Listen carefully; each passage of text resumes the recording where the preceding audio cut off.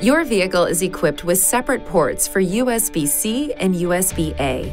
Devices can use either port with compatible cables and or adapters. After plugging a device into a port, press this button, touch source, and select USB to play audio from the device. If compatible, the battery of your device will charge while connected to the vehicle. Additional USB ports are located on the rear of the center console. These are used for charging only and do not interface with the vehicle's audio system. Please see your Nissan Connect Owner's Manual for important safety information, system limitations, and additional operating and feature information.